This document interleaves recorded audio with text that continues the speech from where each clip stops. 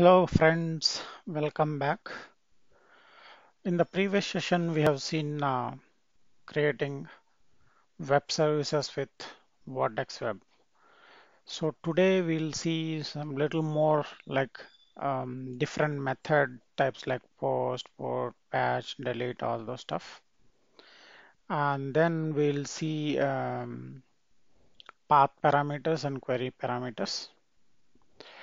Um, okay, uh, let's not waste our time. Let's begin the coding. Guys, if you have not subscribed to my channel, please do subscribe to my channel. And all these programs, whatever I'm showing, so I have I've been committing to GitHub and then the link I'm providing in the description. For your reference, you can use that if you feel it will be useful. Okay, let us start the um, thing. So in the previous session, so we have seen we have created one web service.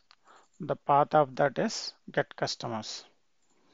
So um, now what I'll do is I'll create one web service which is create customers.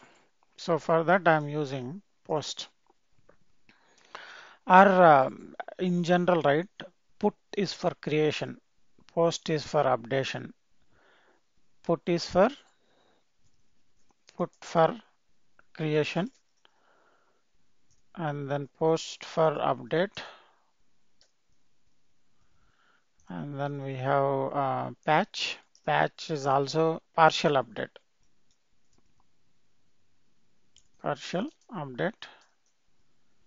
And then we have delete it is self self-explanatory so there are some copy all those methods. Generally we use mostly this get put post patch and delete.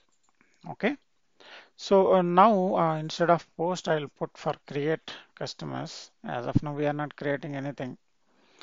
So uh, when you give put or post or whatever it is so what we need to do is we have it will have a that request will have a request body so for that we have something called body dot handler. So we can do like this. Again handle. Handle. Handler. So here body. There is one handler called body handler.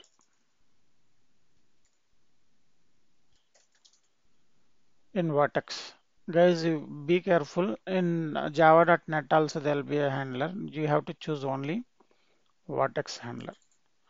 Dot create. And then here if you do like this then you will be whatever the uh, body you will pass right? You will be able to read. How to read that body? Context dot get body as json so you can choose any of this body as json json array as string whatever the format whatever the thing which you are passing. So here i am going to change it as create customer. So here this is my customer right? Customer. So I'll change this. So this I'll make as result response so response dot put. So here also I'll put. So the message I wanted to send. Successfully created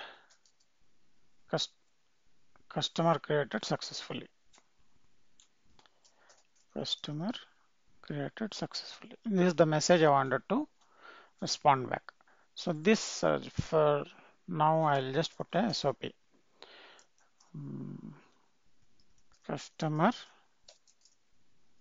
So here customer that toString I'll do. So whatever I got right. So got got the customer. Okay this is what uh, it will print. So if you see here broadly what I am doing. So between the get request and post mm, put or post request. This will be extra thing which is a body handler. So as because we'll have we'll be passing body. And these are all things. So how to read the content of the body. So this section. And then this I'm as usual responding back. This is the response I'm giving it back. So this I will run it. So how to run it so we have I have configured this right as a Java application. Using the launcher I'm launching it. So using the run command. So launcher has a run so you have to give the full structure of the uh, our bootstrap class and running it.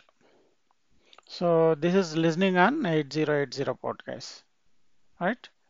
So this is, has this has been successfully deployed now so it is listening on 8080 now this is the create customer. So let us uh, test this. How to test this? So uh, we have to have postman postman or some tool. So for make it more easy chrome is having extensions okay? So chrome is, is having extensions. So you can uh, add an extension called uh, postman okay chrome is having extensions. You can add one extension called postman. So this postman I have already I have added the extension.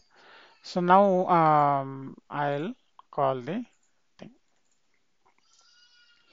So this is my HTTP localhost and 8080 so here um, I need to give create customer right? This is the um, one. And here in the body I'm giving uh, ID as 1234 and name as uh, this time I'll give my daughter's name Sana. Okay? So this if I make a request it should print here should print here the object which I am passing here and then here the message which I am writing here so the rest message is customer created successfully it should come here right? So now let us push this send click on send. So see guys we got the response message customer created successfully. So here we got the object which we have passed id 1234 and name equals to sana. So this is how we uh, write the put method. So similarly we can have uh, post method. So post. So we can give post also. Uh, here I'll give update customer. And then uh, I'll give patch so here I'll give the path as patch customer and then I'll give delete delete customer. These are the uh, methods of uh, request type methods. So HTTP methods right? So our HTTP method different methods I'm trying to show. So now if you change it to post so I have changed the code right? I have to stop and start it. So I'm starting it again. So now if I wanted to use the post method so I will need to give update customer. That is the path right for post method update customer.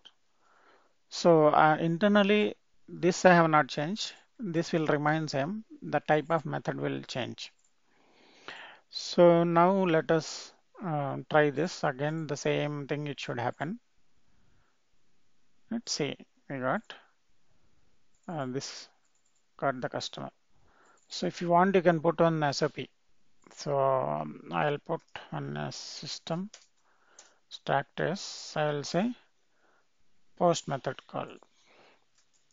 See um, we don't need to do that because it is clearly uh, having the path. If you give some wrong path it will not work. Let's see I'll give this. This is the wrong path. This was not found so if we give the exact path only it will be able to listen. So similarly I have um, patch. So here I need to give patch customer.